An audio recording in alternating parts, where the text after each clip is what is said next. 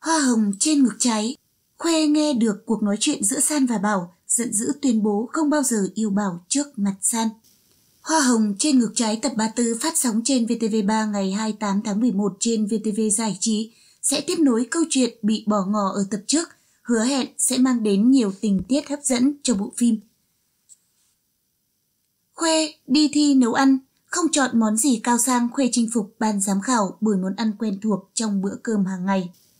Thái đã tìm đến để gặp Khuê, xin được sửa sai và nối lại tình xưa với vợ cũ.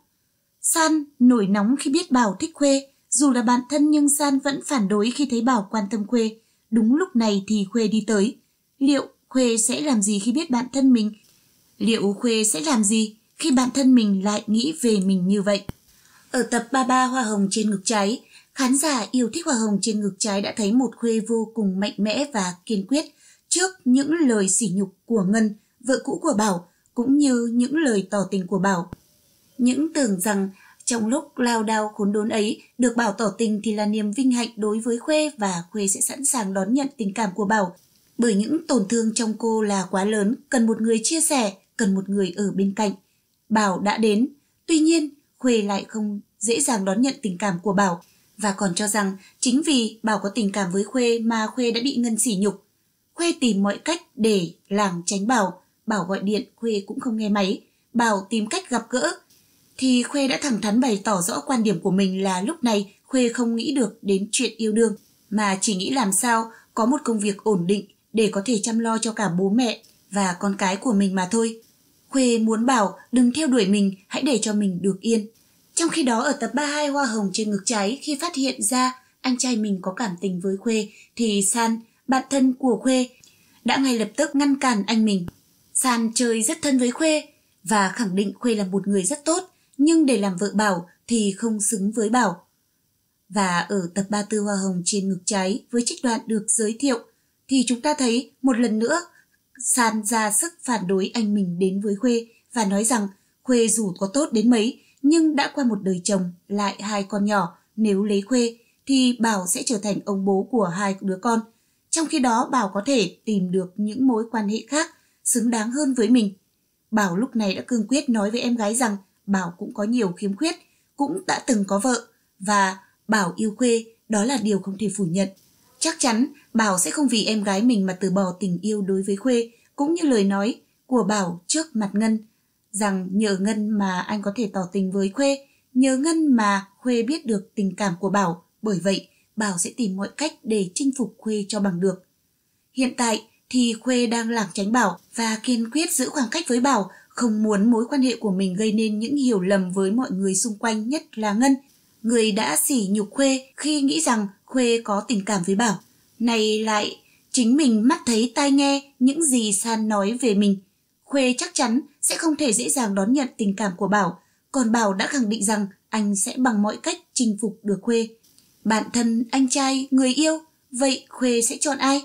Chắc chắn Khuê sẽ chọn San rồi, bởi từ nhỏ tới lớn Khuê chỉ có một người bạn thân duy nhất, ấy là San. Những vui buồn trong cuộc sống của Khuê đều có San chia sẻ. Còn chuyện tình cảm với Bảo, Khuê chưa bao giờ nghĩ đến, chỉ là tình cảm một phía từ Bảo mà thôi. Tuy nhiên, khán giả yêu thích Hoa Hồng trên ngực trái ngay từ khi Bảo xuất hiện đã vun vào cho cặp đôi này và luôn mong muốn Khuê nhanh chóng thoát khỏi Thái để đến với Bảo. Và cuối cùng thì Khuê cũng đã ly dị Thái rồi, chỉ còn việc đến với Bảo mà thôi. Thế nhưng con đường đến với Bảo của Khuê sao lại lắm trông gai đến vậy? Không chỉ có con gái, bỗng cản đường để giữ mẹ cho bố, mà cả Thái cũng muốn giữ lại Khuê cho mình, rồi đến Ngân thì muốn giành Bảo từ Khuê. Rồi bây giờ đến em gái của Bảo là San cũng chính là bạn thân của Khuê cũng ngăn cản vì nghĩ rằng Khuê không tương xứng với Bảo. Điều này không phải Khuê không nhận ra ngay từ khi gặp Bảo ở tập 33. Khuê đã nói thẳng rằng mình không có điểm gì đáng để Bảo yêu cả. Nhưng Bảo đã nói rằng Bảo yêu Khuê không phải là vì địa vị, không phải là vì học thức, không phải là sự giàu sang, mà đó là vì Bảo cảm kích Khuê. Một người phụ nữ hiền lành, ngoan ngoãn, chăm chỉ, lương thiện, tốt bụng và giàu lòng tự trọng. Khuê nói rằng những gì trước đây khi Bảo có định kiến với mình đã đay nghiến mình, Khuê không bao giờ quên, coi đó giống như là một động lực để mình có thể tiến lên trong cuộc sống. Và khi nghe Khuê nhắc lại, Bảo có chút bối rối, nhưng đây cũng là lần đầu tiên Bảo đã đường đường chính chính xin lỗi Khuê trước mặt Khuê. Khuê càng lảng tránh, càng xa lánh Bảo thì tình yêu trong Bảo càng lớn dần lên. Nếu như tình cảm mà Bảo vẫn giữ trong lòng chưa nói cho Khuê biết thì nỗi nhớ nhung ấy Bảo sẽ cố gắng giữ trong lòng thôi. Thế nhưng tình cảm mà Bảo dành cho Khuê, Bảo đã bộc lộ với Khuê rồi. Khuê đã biết được thì Bảo muốn Khuê có phản ứng, nhưng Khuê lại lảng tránh mình. Điều đó khiến cho Bảo đứng ngồi không yên, mong ngóng nhớ nhung khôn nguôi. Hành động của Bảo ở tập 33 Hoa Hồng trên ngực cháy khi nhờ San gọi điện cho Khuê để mình có thể gặp Khuê khiến cho khán giả đứng ngồi không yên vì sự yêu thương quá đỗi ngọt ngào mà Bảo dành cho Khuê. Vậy mà trong trailer trích đoạn Hoa Hồng trên ngực trái tập 34 vừa được giới thiệu, dường như để tiến tới với Khuê, Bảo không dễ dàng gì. Hai anh em Bảo và San đã có cuộc tranh luận gay gắt ngay sau khi cùng Khuê đi ra từ cuộc thi nấu ăn. Vô tình, Khuê đã chứng kiến từ đầu đến cuối cuộc tranh luận của hai anh em. Và Khuê biết được, không chỉ có Khuê nghĩ rằng mình không xứng với Bảo mà chính San, cô bạn thân của mình, cũng nghĩ rằng mình không xứng với Bảo. Bởi vậy, khán giả Hoa Hồng trên ngực trái sẽ đoán rằng Khuê sẽ ba mặt một lời với San và Bảo và khẳng định rằng sẽ không bao giờ có chuyện Khuê có tình cảm với Bảo ở đây và mong Bảo đừng quấy dày đến cuộc sống của mình nữa. Hãy để cho mình được yên, bởi trong suốt thời gian qua Khuê đã chịu quá nhiều áp lực, quá nhiều tủi hơn rồi. Khuê chỉ muốn được bình yên để tiếp tục với công việc mình đam mê yêu thích mà thôi. San biết được Khuê đã chứng kiến toàn bộ câu chuyện giữa hai anh em nên vô cùng áy náy. Nhưng Khuê cũng nhanh chóng gạt phát đi không muốn để bạn mình phải phiền toái vì chuyện này. Khuê cũng khẳng định rằng chưa bao giờ có tình cảm với Bảo và cũng không bao giờ nghĩ rằng sẽ có tình cảm với anh Bảo cả. Bởi vậy San hãy yên tâm và Khuê sẽ khuyên Bảo tránh xa mình, hãy đi tìm một người xứng đáng với mình. Và chắc chắn sau chuyện này, mối quan hệ giữa hai anh em Bảo và San sẽ nảy ra những mâu thuẫn. Chắc chắn Bảo sẽ giận dữ vô cùng khi biết được suy nghĩ của em gái mình về mình, cũng như về Khuê. Liệu vì những lời nói của Khuê cũng như sự ngăn cản của San mà Bảo sẽ dừng bước không tiếp tục chinh phục Khuê nữa hay Bảo sẽ đấu tranh đến cùng để có được Khuê? Chúng ta phải chờ đón những tập tiếp theo của Hoa Hồng trên ngực trái để biết rõ điều đó.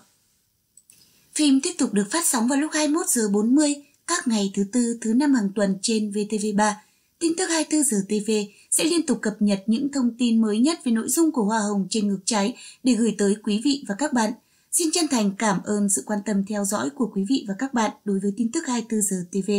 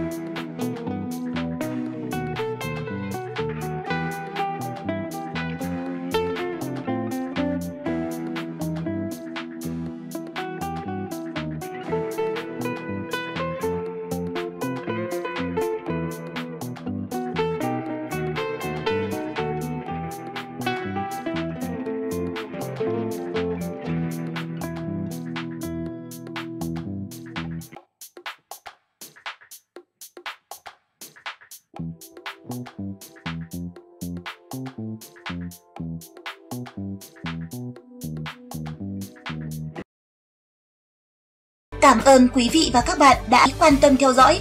Quý vị hãy bấm đăng ký kênh tin tức 24 giờ TV để theo dõi mỗi ngày. Chúng tôi sẽ liên tục cập nhật và cung cấp những thông tin nổi bật nhất. Quý vị hãy nhớ đón xem nhé. Xin chào và hẹn gặp lại.